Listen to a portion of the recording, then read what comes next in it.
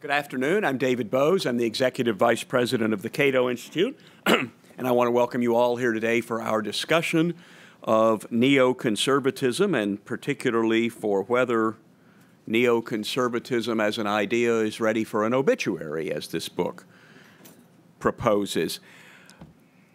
I find the word neoconservative tossed around in a lot of ways without a whole lot of meaning. In fact, I wrote a blog post this morning complaining about the loose way people were these days using Tea Party, which I think has sort of replaced neoconservative as the all purpose slur of anybody perceived to be on the right. Uh, in my perception, neoconservatism and Tea Partyism are fairly different, but I have a feeling Dana Milbank would be hard pressed to explain how he might see the difference. For myself, I have often wondered and sometimes asked at conferences like this what does it mean to be a conservative in a country founded in libertarian revolution? What is it you're conserving in a liberal country? And I think that's a good question for conservatives. Then you get to the more complicated question well, then, once you figure out what conservatism is, what is neoconservatism? Now, me, I'm a traditionalist, and I like my neoconservatives to be neo. I don't like this idea of I'm a lifelong neoconservative. What does that mean? If you weren't anything before. I like the good old days of disillusioned ex Trotskyists being neoconservatives. Um, I also remember the uh, wonderful phrase, which I actually Googled around and could not confirm who had originally said, but I understand that someone at some point said, a neoconservative is a liberal who has been mugged. And what everybody does know is the very effective riposte from uh, is Irving Kristol, a neoconservative is a liberal who has been mugged by reality. I would say that my own partner at home sort of qualifies as a neoconservative on both counts. He was, in fact, mugged once or twice in New York City during the uh, depths of the, the crime ridden days there before Giuliani, and it absolutely moved him from left to right. But he would tell you that wasn't the reason, that he was, in fact, mugged by reality, by seeing uh, the dysfunction of the welfare state, by seeing the dysfunction of uh, the, the post uh, New Left kind of left. Neoconservatives were perhaps best uh, uh, uh, identified with the magazine The Public Interest, which published piercing critiques of the Great Society and the welfare state in practice, if not always in theory. Uh, there always seemed to be a, a, more theoretical acceptance of the welfare state than you would find in libertarian and perhaps traditionally conservative journals, but in practice, these were the most incisive critiques being published. But later, some would say neoconservative came to mean simply big government conservatives, but that's certainly one of the things we'll be talking about here. One thing I never understood was the alleged connection to Leo Strauss, and maybe after today's discussion I will understand that. Our first speaker today, the author of Neoconservatism, An Obituary for an Idea, is C. Bradley Thompson, who is a professor of political science at Clemson University and the executive director of the Clemson Institute for the Study of Capitalism. He received his PhD at Brown University He's been a visiting scholar at Princeton and Harvard and at the University of London. Before getting into this subject, he was the author of the award winning book John Adams and the Spirit of Liberty, the editor of two books, The Revolutionary Writings of John Adams and Anti Slavery Political Writings. Um, and he was also a co editor of the four volume Encyclopedia of the Enlightenment.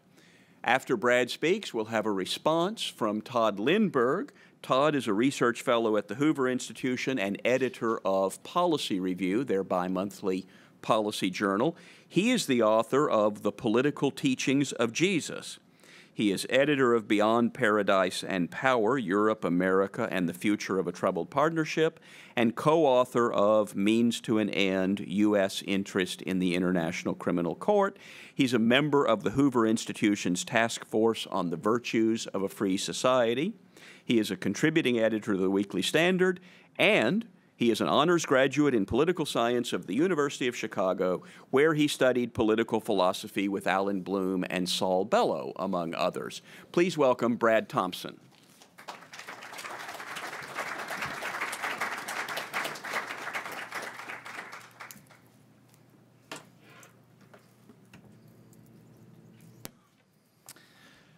Uh, well, thank you, David, for that introduction, uh, and uh, to the Cato Institute for hosting this event.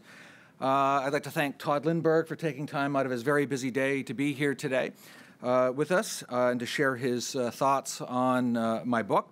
a special shout out to Tom Palmer. for um, supporting this book, and I think for first bringing it maybe to David's attention a few months ago. Uh, I'd also like to thank Jason Kuznicki of Cato Unbound uh, for running in this, this last week um, uh, an essay that I did, uh, Conservatism Unmasked, or Neoconservatism Unmasked, based on, on my book. And in particular, I'd like to thank uh, Douglas Rasmussen and uh, Damon Linker for their very thoughtful responses to that essay. Now, I have to say, though, I worry that I've been brought here under somewhat false pretenses. David invited me uh, uh, to do a book for him, followed by what he described as a kind of friendly conversation uh, with, with Tod Lindberg. A few days ago, uh, a few days ago, I went to David's Facebook page, uh, and to my horror saw, to my horror saw that he was advertising this event as a SmackDown. although it was somewhat unclear uh, what or whom was getting smacked down. Well, I guess we're, we're going to find out. Well, what is my book about? Uh, I've written a book about neoconservative political philosophy. So this is not a book about the war in Iraq. It's not a book about Israel, uh, nor is it a history of neoconservatism or its various factions. It's not a book about the neo in neoconservatism. It's not a book about the conservatism in neoconservatism, but rather it is a book about the ism in neoconservatism.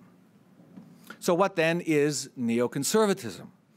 Defining neoconservatism is no small task, given that its exponents deny that it is a systematic political philosophy.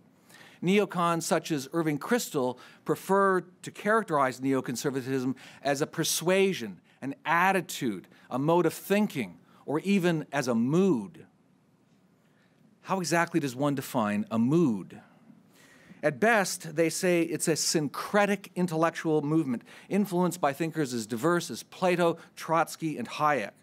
Daniel Bell, I think, captured the syncretic nature of neoconservatism when he described himself as a socialist in economics, a liberal in politics, and a conservative in culture. On one level, neoconservatism certainly is a syncretic mode of thinking.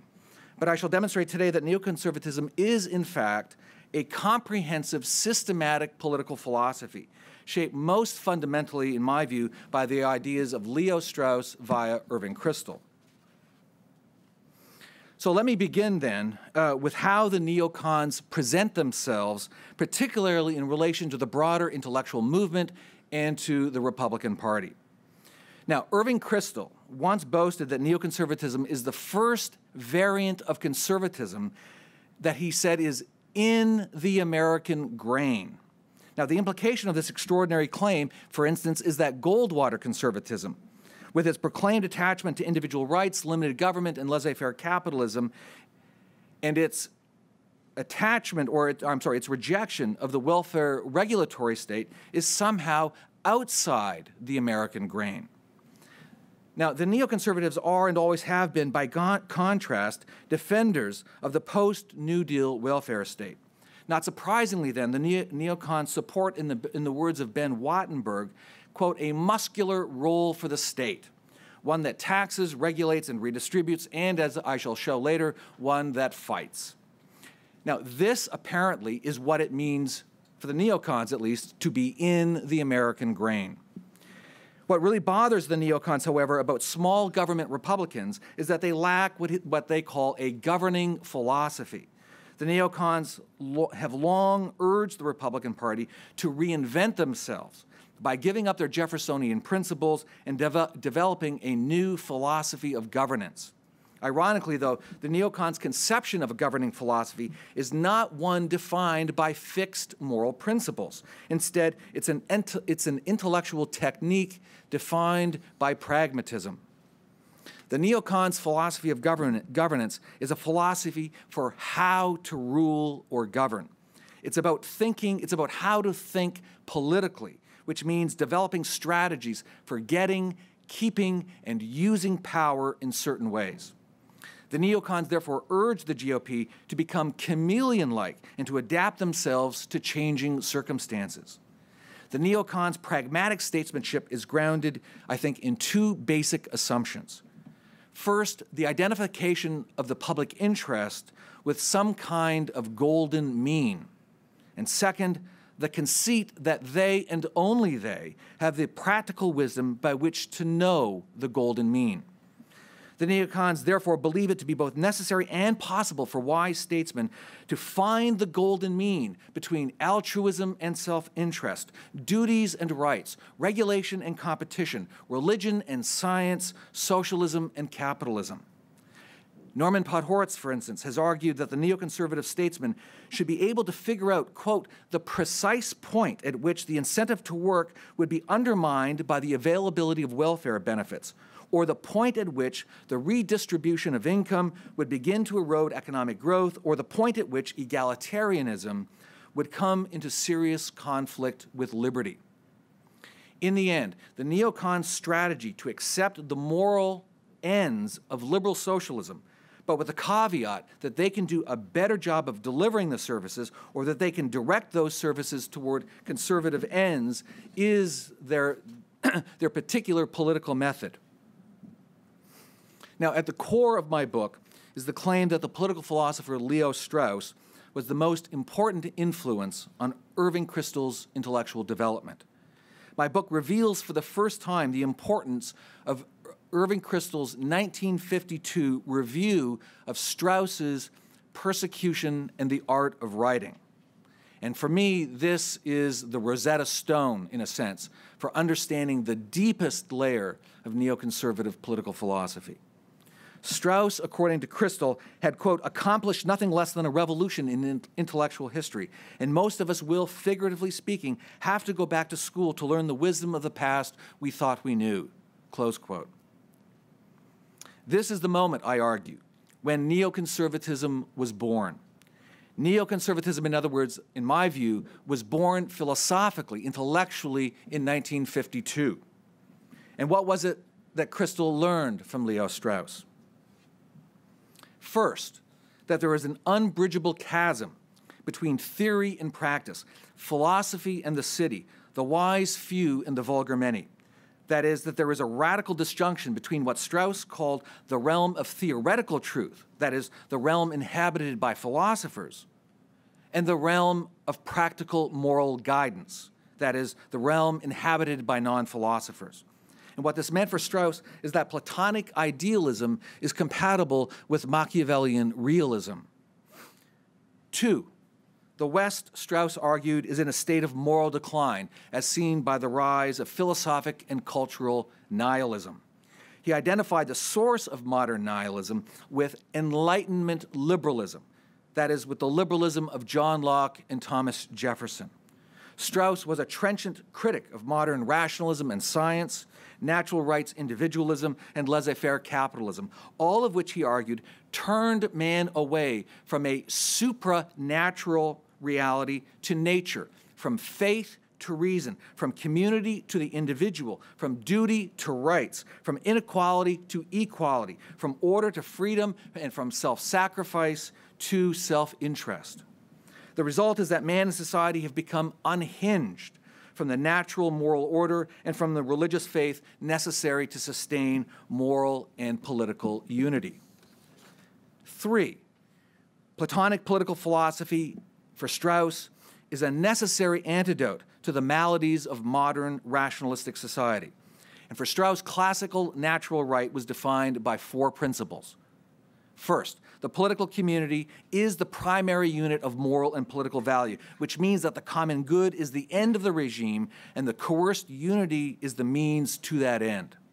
Second, a truly just political order should mirror, quote, the hierarchic order of man's natural constitution, which means that some men are more fit to rule than others. Third, That which is naturally right for any given society for Strauss is always changing depending on circumstances, which means that philosophic statesmen should not be hampered by conventional morality or the rule of law. And finally, virtue and the public interest represent the end or the purpose of the city, which means that wise statesmen must use what Strauss called benevolent coercion in order to make their citizens virtuous. And the last big point that Kristol learned from Strauss was this Platonic statesmen should ground the regime on certain ancestral pieties and political myths. And the cardinal virtue for the vulgar many is self sacrifice. Now, Straussianized neo, neoconservatism is defined by what ne, uh, Irving Kristol called a new synthesis of ideas, a synthesis he characterized as classical realist in nature and in temperament. At the core of neoconservatism is a fundamental dualism that combines what Strauss called the way of Thrasymachus with the way of Socrates. Platonic natural right, that is, the realm of theoretical truth, provides the ultimate standard of justice for neoconservative statesmen. Yet the messy day to day reality of politics means that conventional morality and sometimes even Machiavellian prudence, that is, the realm of practical moral reasoning, are both necessary and salutary. Philosophically, Strauss thought it possible to advocate what he called sh- the shrewd power politics of Machiavelli within a larger Platonic framework that separates theory from practice. Thus, Kristol learned how to reconcile Platonic idealism, the classical thesis, with Machiavellian prudence, the realist thesis, antithesis, to create the neoconservative synthesis. What then are the core principles of neoconservatism? And one of the things that I've tried to do in this book is to, is to present neoconservatism as a systematic, integrated, comprehensive political philosophy. It's more than just a persuasion or a mood. So, first, I believe that the neoconservatives have a metaphysics. They take the political community, or what Irving Kristol called the collective self, as the primary unit of moral and political value. They accept Plato's premise that the polis or the nation is the only community adequate for the fulfillment of man's natural end, which they associate with what they variously call the public interest or the common good.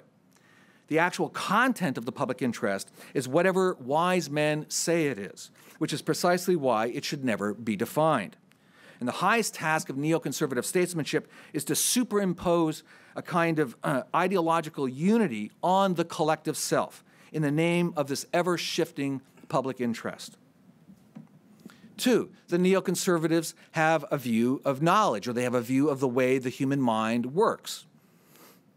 Neoconservatives begin with the Platonic assumption that ordinary people are irrational and must be guided by those who are rational. According to Irving Kristol, there are, quote, and listen to this carefully, there are different kinds of truth for different kinds of people. There are truths appropriate for children, truths appropriate for students, truths that are appropriate for educated adults, and the notion that there should be one set of truths available to everyone is a modern democratic fallacy. Close quote. The highest truth in Strauss and Kristol is restricted to the philosopher, while the common man is and must be limited to knowledge of a different sort, to myth, revelation, and custom. Neoconservatives believe the opinions of the nation must therefore be shaped by those who rule. To control ideas is to control public opinion, which is to control the regime as a whole. Ultimately, the vulgar, the vulgar many, must be ruled by faith and by faith's necessary ally, force. What about the, neo, what about the neoconservative ethics? If you believe, as Straussianized neocons do, that there are different kinds of truth for different kinds of people, then you must believe that there are and must be different kinds of moral codes as well. Ordinary people need some form of conventional morality that is easily learned, followed, and transmitted from one generation to another. The vulgar many need piety and patriotism as the ordering myths by which to live. For the neocons, morality is conventional and pragmatic. Because they regard the nation as the primary unit of political value, and because they identify the public interest with the purpose of government, they regard moral good and virtue to be that which works, not for the individual, but for the nation. Morality is therefore defined as overcoming one's petty self interest so as to sacrifice for the common good. And then there's the neoconservative politics. Central to the neoconservatives' philosophy of governance is the conceit that it is possible, in the words of Irving Kristol, for a small elite to, quote, to have an a priori knowledge of what constitutes happiness for other people, close quote. The highest purpose of neoconservative statesmanship is therefore to shape preferences, form habits, cultivate virtues, and create the good society, a society that is known a priori to those men of superior philosophic wisdom. The neocons therefore advocate using government force to make good decisions for America's non philosophers in order to nudge them in certain directions, that is, toward choosing a life of virtue and duty.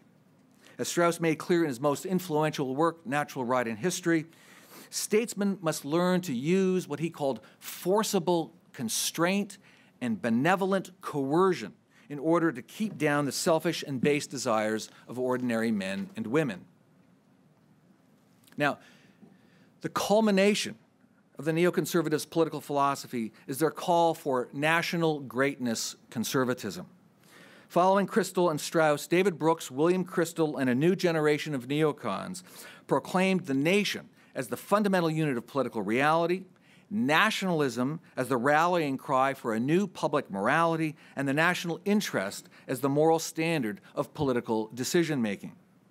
Morally, the purpose of national greatness conservatism is, according to David Brooks, to energize the American spirit, to fire the imagination with something majestic, to advance a unifying American creed and to inspire Americans to look beyond their narrow self interest to some larger national mission, to some mystically Hegelian national destiny. The new American citizen must be animated by nationalist virtues such as duty, loyalty, and self sacrifice. The neocon's basic moral principle is clear and simple the subordination and sacrifice of the individual to the nation state. Politically, Brooks's new nationalism would use the federal government to pursue great nationalistic public projects and to build grand monuments in order to unify the nation spiritually and to prevent America's slide into what he calls nihilistic mediocrity. It is important that the American people, he thinks, conform, swear allegiance to, and obey some grand central purpose defined by, for them by the federal government. The ideal American man, he argues, should negate and forego his individual values and interests and merge his self into some mystical union with the collective soul. This is precisely why Brooks, in uh, uh, uh, an op ed in the New York Times last year, praised the virtues of Chinese collectivism over those of American style individualism. In the end, the neocons want to remoralize America by creating a new patriotic civil religion around the idea of Americanism, an Americanism that will essentially redefine the American grain. The neoconservative vision of a good America is one in which ordinary people work hard, read the Bible, go to church, recite the Pledge of Allegiance, practice homespun virtue, sacrifice themselves for the common good, obey the commands of government, fight wars, and ultimately die for the state. The neocons' national greatness philosophy is also the animating force behind their foreign policy. Indeed, neoconservative foreign policy is a branch of its domestic policy. The grand purpose of national greatness foreign policy is to inspire the American people to transcend their vulgar, infantilized, and selfish interests for uplifting national projects. The neoconservatives' policy of benevolent hegemony will, according to William Kristol and Robert Kagan, quote, relish the opportunity for national engagement embrace the possibility of national greatness, and restore a sense of the heroic. Close quote. In other words, America should wage war in order to combat creeping nihilism. In the revealing words of Kristol Kagan, quote, the remoralization of America at home ultimately requires the remoralization of American foreign policy, close quote. Going to war, sacrificing both treasure and blood in order to bring democracy to strangers, this, in their view, is the mission worthy of a great nation. The neocons therefore believe that a muscular foreign policy, one that includes military intervention abroad, war, regime change, and imperial governance, will keep the American people politicized and therefore virtuous. By saving the world from tyranny, America will save herself from her own internal corruption. And there's more. By keeping by keeping America perpetually involved in nation building around the world, neoconservative rulers will have the opportunity to exercise their statesmanlike virtues. There can be no statesmanship without politics, and there can be no truly magnanimous statesmanship without war.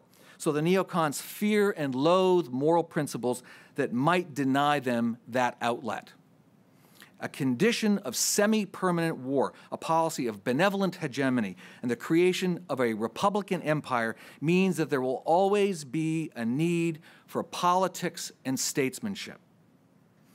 Neoconservatism, in my view, as I've tried to demonstrate, is a systematic political philosophy all the neocons talk about moderation, all, the, all of their talk about moderation and prudence is really only meant to disarm intellectually their competitors in the conservative libertarian movement who want to defend the founders' principles of individual rights and limited government.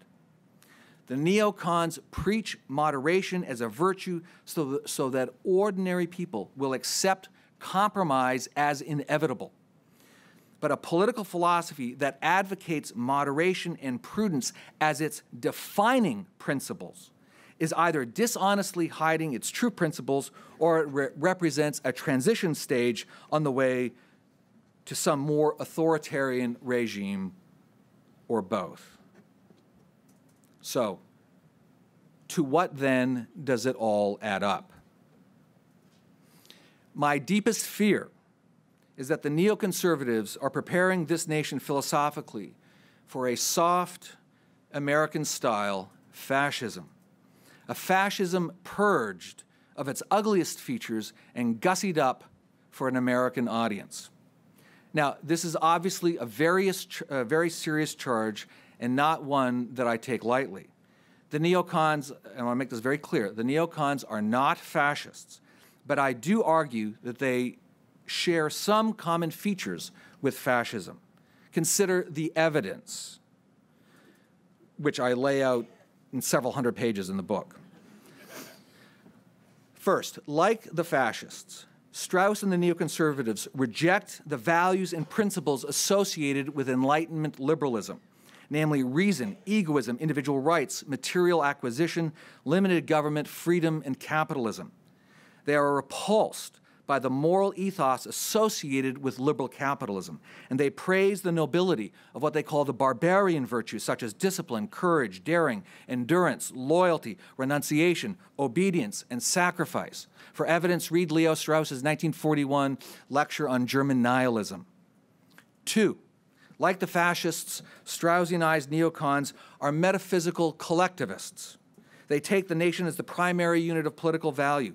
They view the body politic as an organic whole. They promote social duties over individual rights. They support using the coercive power of the state to promote order and unity. They demand that individuals subordinate themselves to the public interest and serve some fuzzy notion of national greatness. Three, like the fascists, Strauss and the neocons are statists who strongly oppose a, a depoliticized, that is, a night watchman view of government in favor of a paternalistic, corporatist, omnipotent state.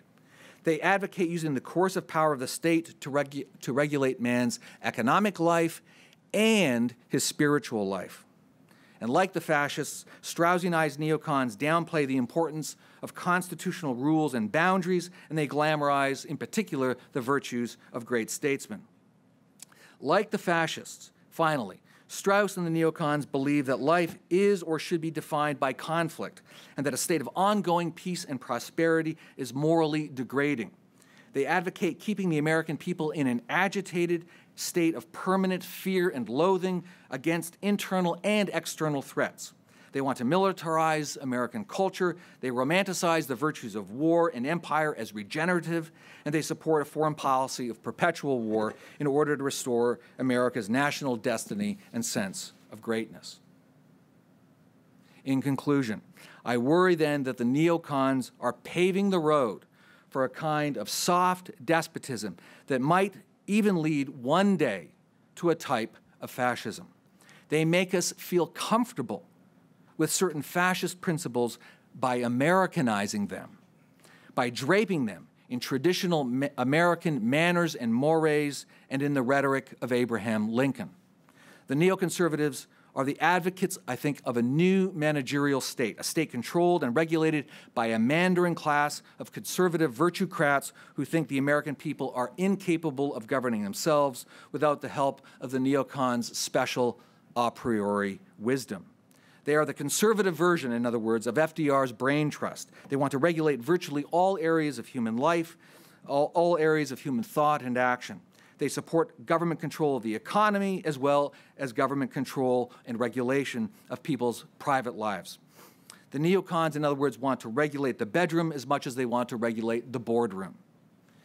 The neoconservatives, finally, are the false prophets of Americanism.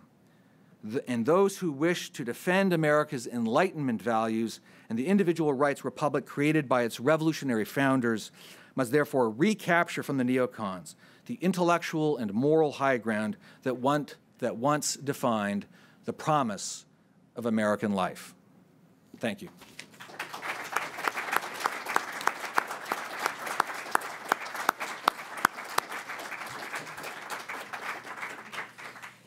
Thank you, Brad, and thank you for reminding me to watch out not to get uh, caught up in Facebook culture. Um, now, please welcome from the Hoover Institution, Tod Lindberg. Thanks, David. Uh, thanks to Cato for uh, putting on this uh, event. Uh, thanks to you all for coming. Thanks uh, to Brad for uh, getting the party started.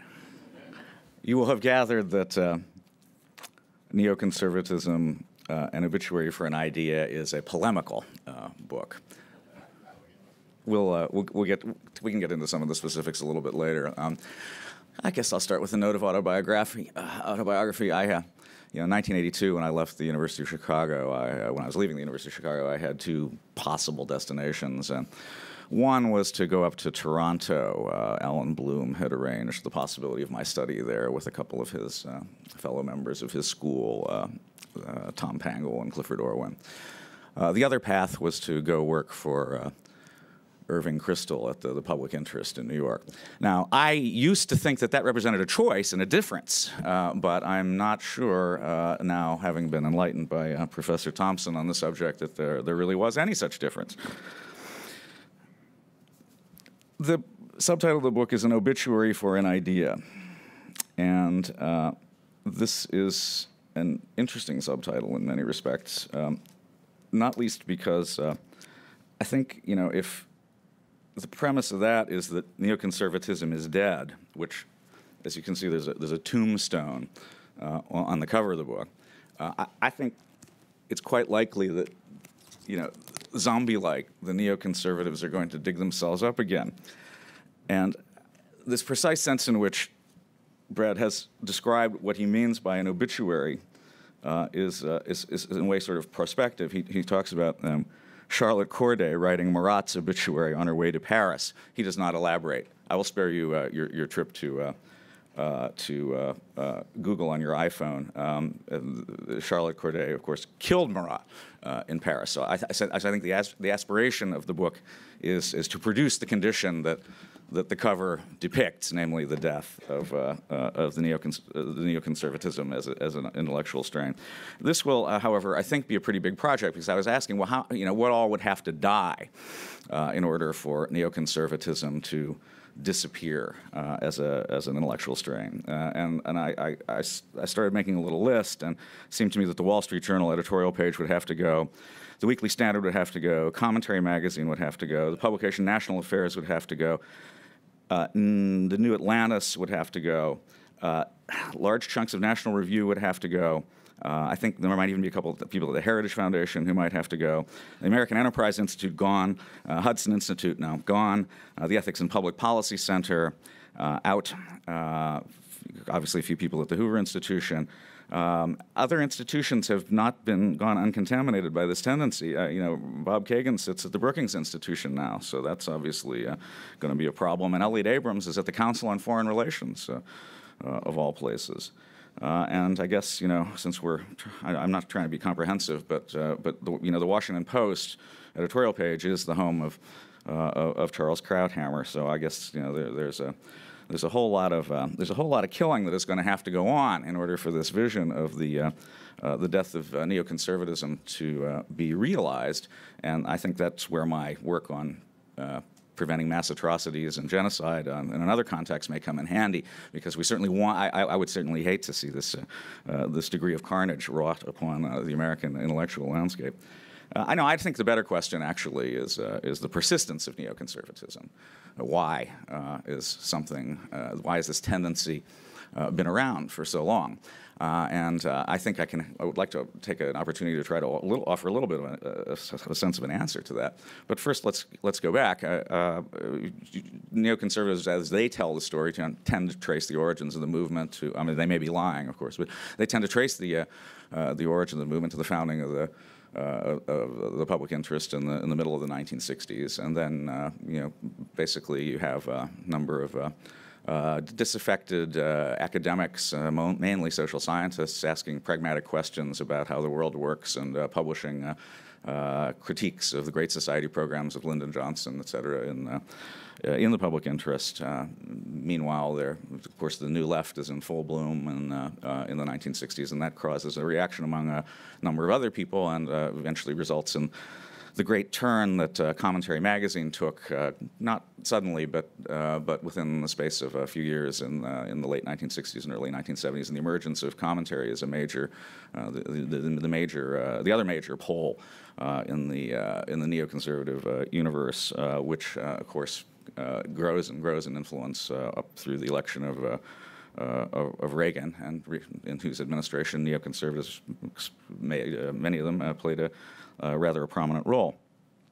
And uh, throughout this time, there was a, uh, also, of course, a, a backlash against uh, neoconservatives. the traditional, many con- traditional conservatives regarded neoconservatives as Johnny-come-latelys, as upstarts, as people who waltzed in only after the you know the, the, the, real conservatives have been making the, the serious arguments all along and uh, flashed their fancy social science data as if they just invented uh, uh, the wheel when in fact the wheel had been invented long ago and had been turning nicely. And uh, there was, uh, of course, a fair bit of uh, resentment. There were actually some fairly fairly uh, fairly tough political struggles actually during the Reagan administration about what direction uh, the Reagan administration would take uh, in uh, ideas matters. There was a uh, essentially a, a, a, campaign. I mean, a war. I, I, don't like war as a metaphor. I think war is war and shouldn't be you know, recruited into into discussions that are fundamentally peaceful. Uh, but you know, there was a, there was certainly some uh, back and forth over the question of whether uh, uh Bill Bennett would become head of the National Endowment for uh, Humanities or whether M.E. Bradford would, and that was a that was that was a, an early distillation of I think of, of, a critique that I think continues to this day and and in in Professor Thompson's book. but but nevertheless, the, the neocon strain uh, persisted and and uh, and, the, uh, and went on and on through the. Uh, the Reagan administration. Uh, the, uh, the collapse of communism, I think, came as a, as, as, a surprise to most people, including the, people, the neocon Cold Warriors in town, who thought, as indeed I did when I moved here in 1985, that I would spend most of my life waging the Cold War in an order to, in an effort to preserve uh, the, the, the, possibility, uh, the, the, the actuality of, uh, of, of, freedom uh, in America and possibly to uh, elsewhere around the world. Um, but the, the collapse of communism brought in, I think, probably the most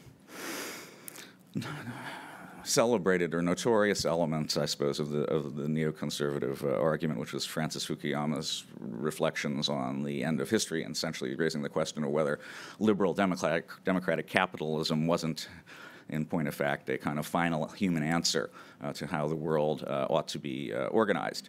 Uh, the thesis was much derided, uh, much less was it actually read, and still less understood, but it was uh, it, but it was an interesting uh, kind of intellectual moment. Uh, and meanwhile, I think you know you see. Uh, what begins as a, as a thought experiment that Charles Murray propounds in uh, a book in the early 1980s, namely what would happen if we actually got rid of the welfare entitlement.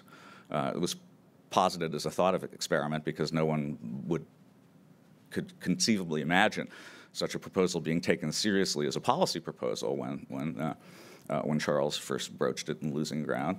Uh, by by the mid 90s, is becoming actually uh, something that is, is a distinct political possibility. So you see. Uh, you see uh, uh, Bill Clinton himself wanting to end welfare as we know it. Now, his emphasis was on as we know it, I think, which is to say he wanted to change it into something we would get to know and love more. but he kind of got tripped up by the election of Republican majorities in 1994, and they wanted to end welfare full, full stop.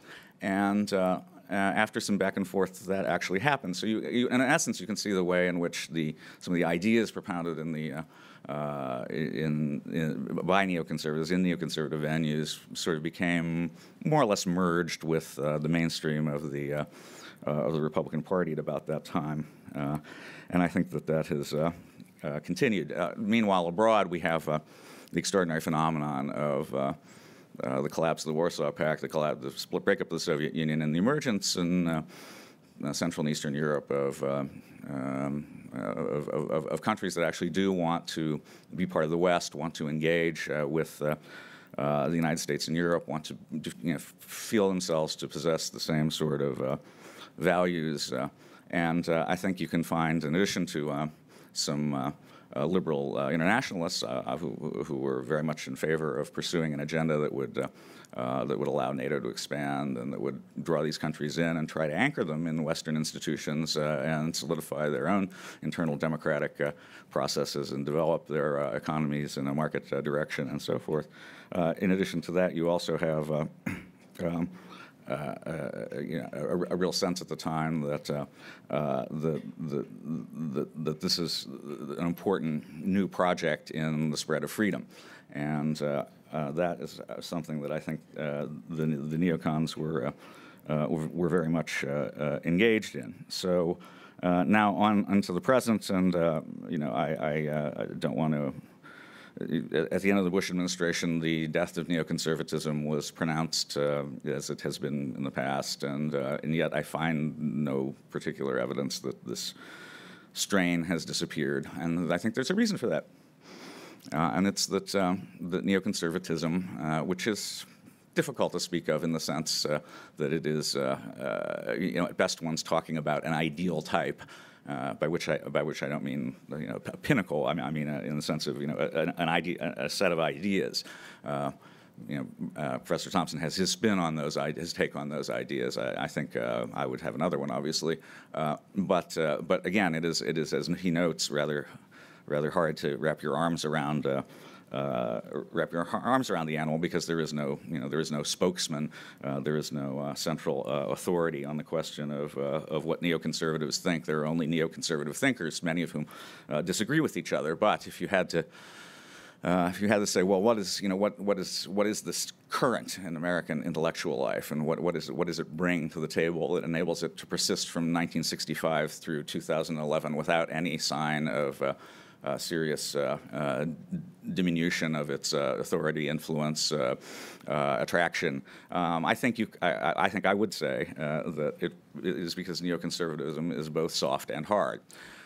it is hard in the sense that it understands power, and it, it, it seeks to understand p- political power, um, military power, other forms of, of power and uh, and and through the understanding, uh, better understanding of, of, these things, to uh, really try to understand better how to manage what is inarguably the world's most powerful nation. The, there was a time when there were we had a bipolar order, and there were. Uh, uh, you know, there was a, a, central struggle over real power uh, in in the world, and there were things like proxy wars in in Central America and Africa. That, that that that was a that was a moment at which clear thinking about power was very important, and I think in a number of uh, articles and uh, uh, commentary and elsewhere, some, some, some very major contributions were made by neoconservatives to the understanding of that conflict and what it meant to wage it and what its implications are. But also, neoconservatism is soft, and it's soft in the sense uh, that, uh, that it's concerned about ideas, and not just uh, any ideas, and not just the ideas of philosophers or of Plato, but actually of, of freedom. And I think the, the, the neoconservative uh, emphasis on uh, freedom has been uh, at, at the heart of the project for quite some time. there was a uh, the, the, the neoconservative critique of capitalism, uh, which was developed by Irving Kristol and Daniel Bell, Bell and the Cultural Contradictions of Capitalism, and Irving and several major uh, consequential essays that are still worth reading today, was essentially a riff on you know, an, an, extension of Weber's uh, analysis of capitalism, namely that these uh, that the system depended on uh, certain virtues that it did not itself produce, and that in fact, uh, in some respects, it acted to undermine. Uh, so it was, uh, it, this was not a critique of capitalism that was aimed at the undermining of capitalism. On the contrary, it was aimed uh, at the uh, at the preservation uh, of capitalism, and it's worthwhile to remember just exactly how left-leaning much public opinion was in in the 1970s, when many people still thought that wage and price controls were a good idea, and and and more than that, that that there was a there was in no sense a uh, uh, Uh, among uh, liberals uh, on the left side of the political spectrum, uh, which is to say, not classical liberals, there was no sense of chastity with regard to their uh, ambitions for the uh, for government, for the for the public purse, uh, et cetera. There was a let it all kind of hang out a moment. So this is this, these ideas about freedom are uh, absolutely central, I think, to understanding neoconservatism, uh, both its uh, dom- domestic element and uh, its uh, foreign elements. And they are classically liberal ideas. They are, their affinity is with Locke and with Mill, and not with others. Um, and uh, this soft and hard element, I think, stands in some somewhat in contrast with the, the more with with a, with a, with a purely hard view, which is does exist in American society. It's in some respects in foreign policy, it's neo-realist, but I suppose if you uh, uh, uh it, it, it, it, was also um, uh, you know if, if if if you have any sympathy for uh, um, people in um, Tunisia or Egypt or Libya fighting authoritarian governments, um, then uh, you're probably more a little more on the uh, neocon uh, end of the uh, of the spectrum.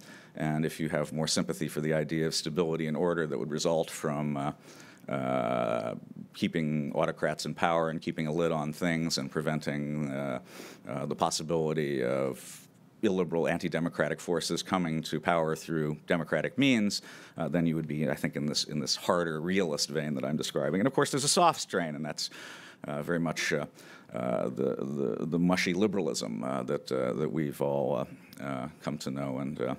Uh, and, and understand that uh, large elements of it consist of wishing the world was a different place from what it is, and then learning uh, or not learning as a result of its stubborn uh, action against what one uh, ex- expects.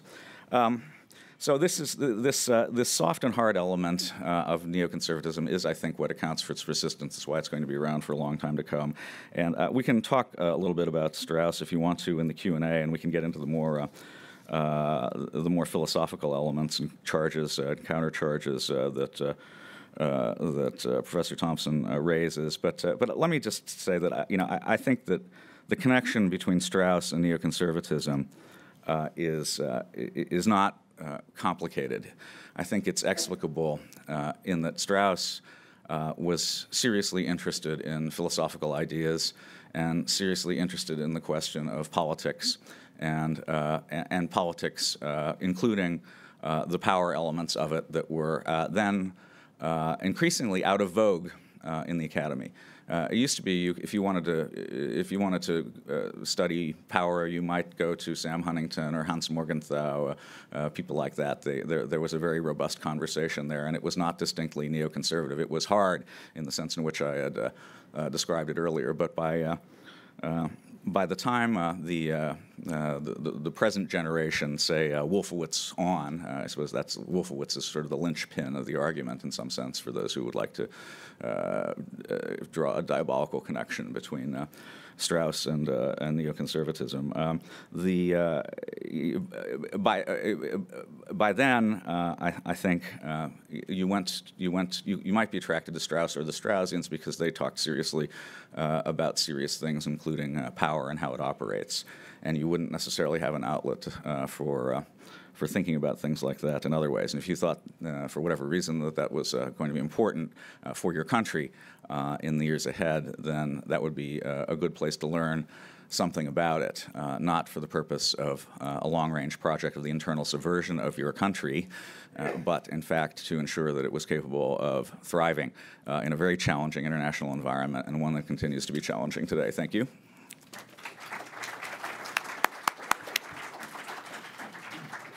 Thank you, Tod. Let's take some questions now. Uh, please raise your hands, wait for a microphone to be brought to you, introduce yourself and any affiliation you're willing to admit to. Right here. Tim Tim Carney, Washington Examiner.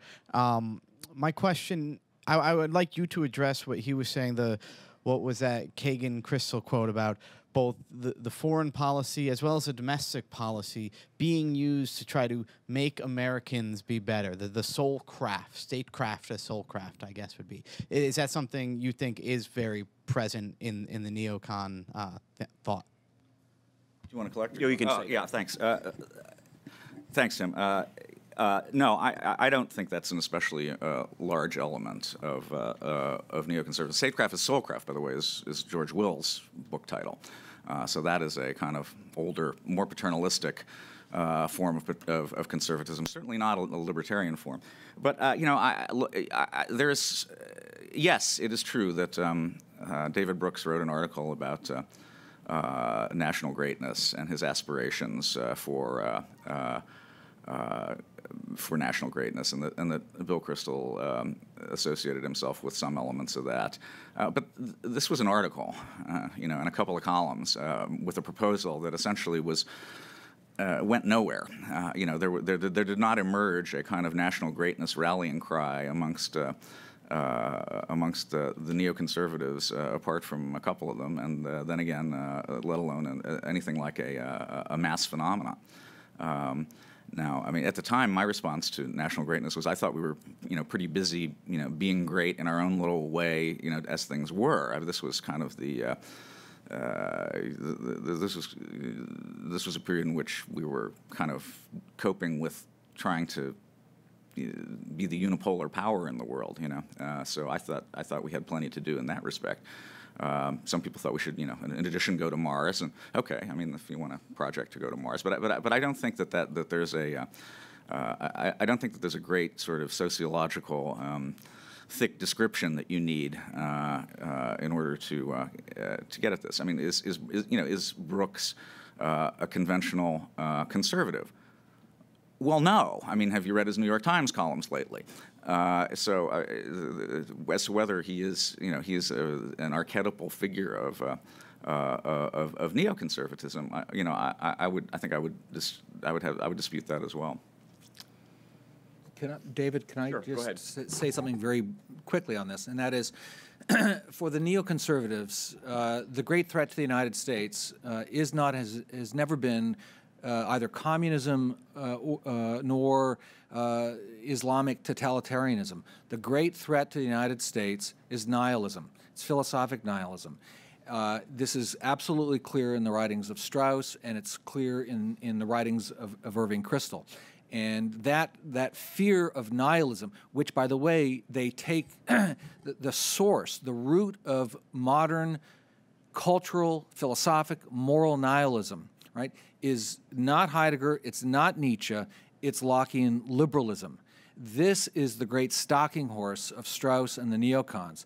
Uh, so you go straight from you go straight from the Declaration of Independence uh, to Boy George. Right? Th this this is their view of the of of the history of of the nihilistic idea which Strauss finds directly in, in, in, in, in John Locke. And so it's fighting, it's combating nihilism, which, which is the, the great task uh, for, for uh, the, the, the, deepest thinking Straussians.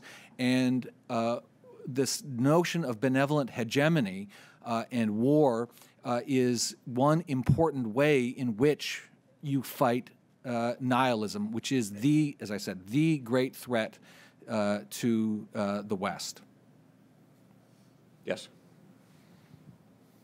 Hi, Mary Carrick. Um, I, I, just, there was something, I have one comment, some questions. Um, William Kristol in the Foreign Policy Initiative yesterday issued a statement not only calling for us to do the, uh, the um, airspace thing, but also uh, limited strikes in, um, in Libya, so um, they, there is a lot of saber rattling there. Um, I had one question: is if for the neocon side, is if you believe in getting involved in all these rebellions, yet on the other hand you like the government so much, why is it for decades now? We've been buying out most of these um, horrible dictators, especially in Egypt. Egypt received the second highest amount of aid. And so, and, and the neocons all supported that because it gets to the other issue is why is it so many people who are neocons, um, although most of the ones I've seen appear to be native born Americans, promote um, foreign policy that serves the interests of Israel over the interests of the United States. And the other question I had is. Well, I think that's probably enough questions. Oh, well, um, Lindberg, by the way, is a Swedish name. uh, if you think that there was any opinion in Israel that favored the uprisings in Egypt and the toppling of the Mubarak regime, I assure you, you are mistaken. Uh, it's the notion that there is, a, there is an identity of view between um, uh, neoconservatives and uh, uh, Likud is a, is, is, a conclusion that borders on something that I find very distasteful. Um, the broader question of propping up dictators. Well, you know what? Um, back in the day when Jeane Kirkpatrick was writing uh, Dictatorships and Double Standards, which is a sort of seminal neoconservative uh, uh, argument from commentary, her argument was that uh, if you acted rapidly to undermine authoritarian rulers who might in time liberalize their governments and enable democracy to take root, that if you undermined them, the alternative was not uh, a sudden onrush of uh, uh democracy in a country, but rather uh, the likelihood that uh, less, the less attractive, less savory, more repressive elements, and specifically communists, would take over the place. Uh, so, uh, what do we conclude from this? One, uh, that uh, I, I, think that uh, it's pretty clear that, that, that, an interest in liberty was the essential question and the essential premise throughout this period. Second, that in the absence of a Commun a serious communist threat, uh, there would be no particular reason to be supportive of, uh, uh, of thuggish dictators. Uh, but rather uh, their uh, opposition. And third, uh, that nevertheless, uh, one uh, must, I suppose, be wary of something other than communism as a possible worse outcome. now, at the moment, it seems as if most, uh, most of my neoconservative uh, friends, uh, oh, I signed that letter, by the way, have reached the conclusion that uh, that propping up uh, uh, uh, dictators is not something we're we're going to be in. We, we, should not be in the business of doing. but at the same time, I think you know if if if the result is going to be anarchy and chaos, then um, it would probably be a good idea to avoid that as well. In the back there.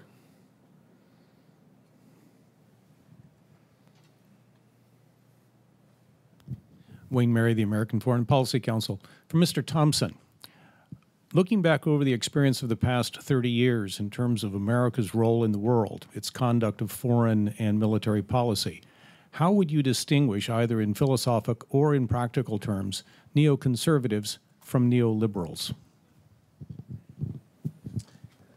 Um, that's uh, for me. That's a tough question. Um, we have one foreign policy chapter in the book, which my co-author uh, Yaron Brook uh, wrote. He's the foreign policy expert.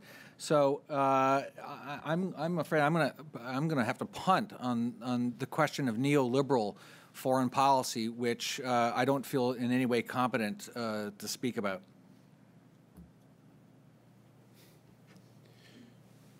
Okay, over there.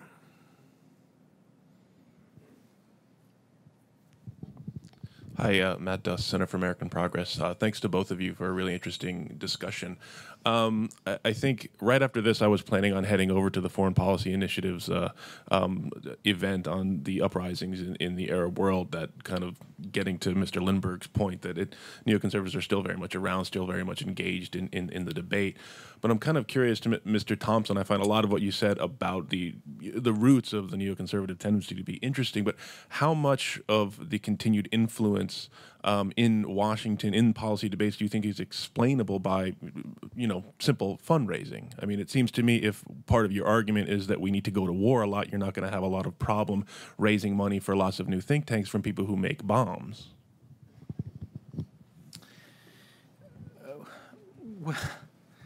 Um, uh, I'm not sure that, uh, though I'm a critic uh, uh of neoconservatism, I'm not sure that my criticism uh, would, uh, would go so far as to suggest that they're on, on the take from arms manufacturers. Um, what I would say, though, is that the neoconservatives have, have been extraordinarily successful, and this in part goes to uh, Tod's opening uh, remarks uh, about the persistence of the neoconservatives, uh, which he is absolutely right. I mean, they have persisted uh, in playing a major role in American uh, intellectual life and policy discussions now for several decades. and I've written an obituary, so how do, how do we explain the continued persistence of the neoconservatives? it's, it's a reasonable and, and, a, and a good question. Um, the neoconservatives, in my view, are the dominant intellectual force in the conservative intellectual movement today. They, they have more of the best university appointments than any other faction, one might say, in the conservative intellectual movement. They control uh, many of the major think tanks. They control uh, many of the best magazines. Uh, and more importantly, and this sort of goes to, I think, uh, your point, uh, they control um, uh, many of the largest conservative philanthropic foundations. So much, uh, I mean, if you if you are a student at all of the conservative intellectual movement, uh, you know there there is a sense in which we all know this to be true. You know, follow the money, and in following the money, you will see that. Uh, uh, their, con their control. And Irving Kristol was actually very much, I think, to his credit, uh, I mean, he was one of the first people to see that, um, you know, he who controls the philanthrop- philanthropic foundations will also then control, to a certain degree, uh, the intellectual movement. And so, very early in the 70s and early 80s, Kristol uh, played a major role in, in, in starting and in running uh, many of these philanthropic foundations and then in the distribution of, of, of monies. Uh, and, and it was at that point that I think you can see a, a real shift within the conservative intellectual movement away from both the libertarian and the more traditionalist wings of the conservative movement toward neoconservatism. Uh, and so many of, of the, the best uh, think tanks, uh, were started during this period with monies uh, from these these uh, these foundations that were now under the control uh, of of the neoconservatives. Let's take a question in the row in front of that. Uh, Trevor Burrus from the Cato Institute. Uh, two quick questions. Uh, I didn't. You mentioned it just now, but the relationship between neoconservatism and conservatism, because it kind of sounds to me like neoconservatism is, a, your interpretation, conservatism with a grandiose sense of self-importance, jingoism, and power, and maybe a Soviet menace. And then the second question is, how would you relate your interpretation of neoconservative conservatism to Carl Schmitt and Spengler, or anyone of that sort of 1920s fascism era? Um, well, there, I mean, there is a very real sense in which, at least within the conservative, the broad, the broadest tent that we can possibly imagine of the conservative intellectual movement, there is a sense in which I think it is appropriate to say, as the Wall Street Journal did recently, and as uh, others have over the course of the last several years. Well, in fact, David Brooks said it. We're all neocons now.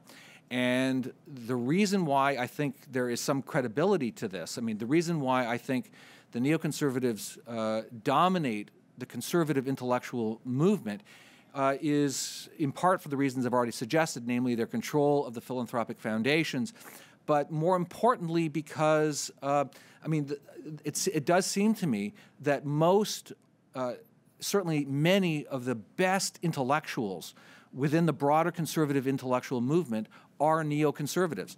I mean, I, I, I do think that, um, I mean, look, I, just, just to be autobiographical, if I could for a moment, uh, as, as Tod was, um, I lived in that world for many years. Uh, I was never a Straussian nor a neocon, but I lived in that world. I was trained uh, throughout my entire university career by Straussians and was entirely sympathetic to their mode of analysis, particularly their mode of analysis of modern culture.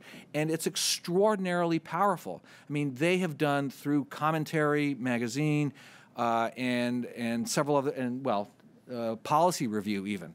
Uh, they have offered some of the very best critiques that we have of the new left. Uh, they have offered the very uh, amongst the very best critiques of feminism uh, and egalitarianism, and and in doing that, I mean, they really have come to be in, a powerful intellectual force. Uh, and, and, and all of that, I think, is very much to their credit. But they, they the, as I said, the very best neoconservative intellectuals are at the very best universities in the United States. And you cannot say that the same thing about um, the intellectuals of the other strains of uh, the larger conservative movement. On to your question about uh, Carl Schmitt. Just very briefly, uh, I have a discussion of this uh, in um, in, in my book, uh, Strauss, Leo Strauss's uh, relationship to, uh, to Carl Schmitt. The first thing I want to mention is this. In 1933, Strauss wrote uh, a letter that's only become available in the last couple of years to his old friend Karl Löwith, uh, when, where he says that in order to combat the principles of, of Nazism, we have to do so with the principles of the right. And he names as the principles of the right fascism, authoritarianism, and imperialism. And at the same time, within the same year, Strauss is writing a review of Carl Schmitt's um, small book, The Concept of the Political, wherein Strauss is trying to deepen uh, Schmitt's critique of Enlightenment liberalism. Uh, and Strauss says to Schmitt that you have to find a horizon beyond liberalism. Because in the end, Strauss says his criticism of Schmitt is that by taking your anti Enlightenment views back to Hobbes, you are in fact only supporting the liberal view, because Strauss viewed Hobbes as, uh, as the philosophic founder of modern liberalism. So Strauss says you have to find a horizon beyond liberalism, that is to say, beyond Hobbes, which he first takes to medieval political philosophy, Al-Farabi and Maimonides, but ultimately and most importantly, back to Plato. Um, you know, I just want to comment on the uh, uh, on, on, this just with two um, brief points. It's probably a subject for a much longer discussion. Uh, the uh, the Strauss letter um, to Löwith, which is uh, which uh, Brad just alluded to. I think the, the point that Strauss was making was that uh, liberalism was an exhausted force in Germany by the early 1930s. It no longer had the oomph to resist uh, the, uh, uh the National Socialism. There was a German right uh, that was not National Socialist. Uh, it was not. Uh, it didn't have much in common with uh, uh contemporary, uh, with our contemporary ideas about uh, about bourgeois liberalism, but it was not the Nazis. and I think Strauss's argument in the letter is is is that is only this force within Germany will be would have the potential um, to resist. Uh, the the Nazi takeover. So I, I you know, it's I, Brad's reading of, of, the letter, in my view, is uh, is out of context and uh, uh, and somewhat tendentious. Well, the, I have to. I'm sorry. Let me just respond very quickly to this. Uh, it's it's in fact in context. The context is that. Um, uh, uh, one of Strauss's friends, the philosopher Jonas, describes Strauss at the time uh, as being one of the earliest friends to fascism. Uh, this from, from a friend of Strauss's. Uh, and Strauss also at the time, we now have evidence, and I talk about it in the book, Strauss read um, the, the encyclopedia, the Italian encyclopedia article by uh, Mussolini on the principles of fascism, uh, co-authored with Giovanni Gentile. And if you read this, this essay uh, by Mussolini and Gentile on the principles of fascism, it's very hard to distinguish between Strauss and Mussolini. No, actually, it's not really very difficult to distinguish between Strauss and Mussolini, but, uh, but I'll just enter my, uh, we'll reserve that for another day. There on the corner. John Purdy, the Fund for American Studies. For uh, Brad Thompson, when you mentioned the Cato Unbound essays, you failed to mention Patrick Deneen, uh, his critique. I wanted to know if, you, if there was a reason for that. And secondly, do you agree with Tod Lindberg that the obituary portion of the title is greatly exaggerated? Right. Uh, well, you did notice that I left, uh, that I did not thank one of the three respondents to my Cato Unbound essay. Um, I will respond to Patrick Deneen in print or electronically at Cato Unbound uh, uh, after I returned from this trip to Washington. Um, it, it's hard to know what to say in, in civil and polite company about an essay that is so fundamentally dishonest, intellectually dishonest, um, uh, uh, and more um, that um, uh, I, I, will I will just say for now that that all of you who have been following this uh, public conversation uh, should wait for my response, my public response, uh, which will be coming uh, within the next week. Um, I'll just, I think it's probably best to leave it at, at, at that. And your second question on, on the title of the book. Uh, the, the title uh, is the title is ironic, and it's ironic in two ways. Uh, first, it's ironic in that uh, it's a play on a title of an essay by Irving Kristol. Irving Kristol once wrote an essay called Socialism, an Obituary uh, for an Idea, an essay which, by the way, uh, is uh, one where uh, Kristol defends the moral superiority of socialism to capitalism. it's also an obituary, I think, in the ways that Tod suggested, namely um, that though neoconservatism is obviously still very much alive. Uh, one might describe this book as a prolegomena to any future obituary, uh, in uh, in the sense that uh, in Tod, uh, and I'm glad one person, namely Tod, got the reference to Charlotte Corday uh, writing Marat's obituary on on the way to to Paris. Um, yes. Um, the book is polemical in to the extent, although I'd like to think uh, that uh, it's, it's philosophical in many ways. Uh, it is polemical in the sense that uh, the goal is to take, is to unmask neoconservatism, to take it on, uh, and then ultimately to defeat it on uh, the intellectual battlefield. Let's take the last question right here. Bill Dennis. What, raise your hand, Bill. Bill you can hear me without these things. Brad, I haven't made uh, opportunity to uh, read your book yet, so I guess I'll have to after this. You probably deal with this in, in there. But do you think all Straussians are neocons and all neocons are Straussians? Because I think there are different roots for both those groups besides Straussianism.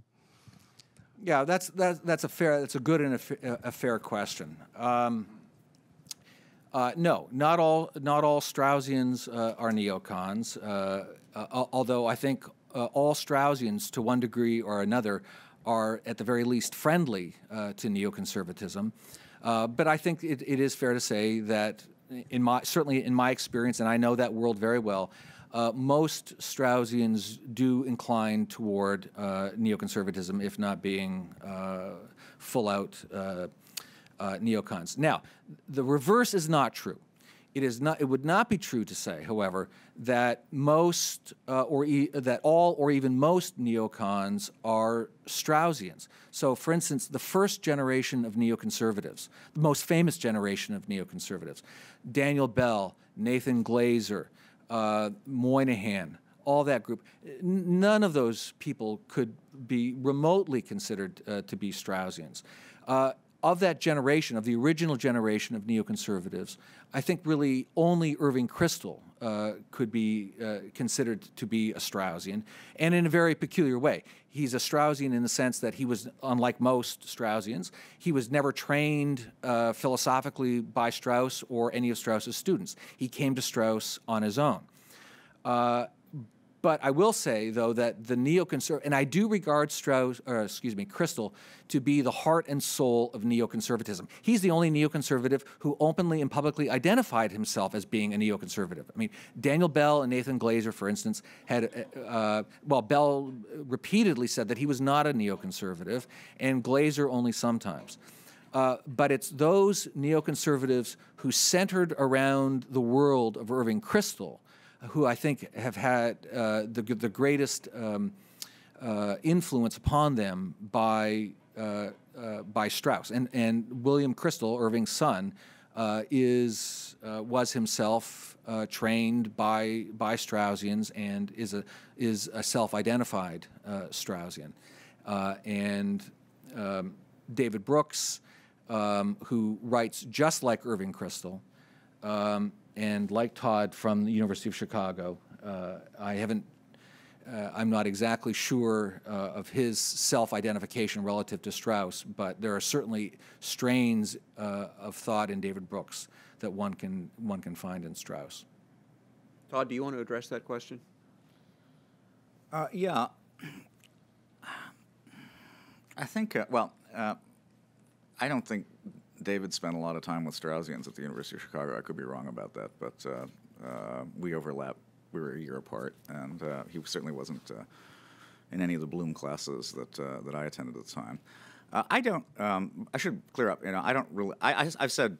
I've written. I, I don't mind if people call me a neoconservative. It's okay. Um, it, as, as long as people understand that you know the the, the I think the living strain of of neoconservatism at the moment is actually a sort of classical liberal strain, uh, and that that uh, has a tendency to uh, uh, get lost a little bit in some of these darker speculations. Um, and uh, you know, I, I, wouldn't.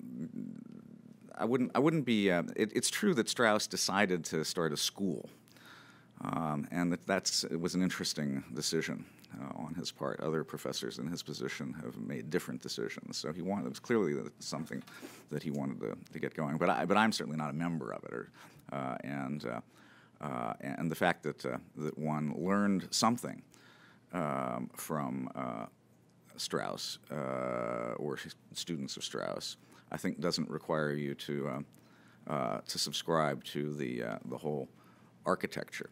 Uh, but that said, I, I think there's a, a, there's a great deal of value there. Uh, and uh, it is if, if you uh, subscribe to a school, you're essentially um, going all in, and maybe um, possibly um, denying yourself the opportunity to do anything like offer a kind of fundamental challenge of the premises and, and so forth. And some people people, people make that decision and, and, and are happy with that decision. Uh, but I, but uh, just as much, I think uh, there is. Uh, by the way, this is hardly unique to Strauss. There's certainly no shortage of Rawlsians out in the academy anyway, and that is that too is a is a school. but you know, I think that in the end, the the Straussian connection is best explained as I was trying to get at, and, and which is to say that if you want to, if if you are interested in political philosophy. Uh, presumably, that is because you're interested in political power, uh, in the structure of political uh, order, uh, in regimes and types of regime, and the way in which a type of regime might affect its behavior inside its borders and outside its borders, uh, in the question of the clash of differing regimes, um, in the question of war and peace and the circumstances in which those persist. Uh, the uh, and uh, and that is if you are interested in those questions, you may also be interested in having. Uh, uh an, uh, an impact on on on policy in in your own country, and I think that's I don't think we need to go a whole lot deeper than that in order to find Uh, what uh, what accounts for not the identity, but but what is in fact you know substantial overlap between these uh, between these two things. All right. Thank you, Tod Lindberg. Thank you, Brad Thompson. We, uh, we have books and lunch upstairs, so please join us up in the Winter Garden.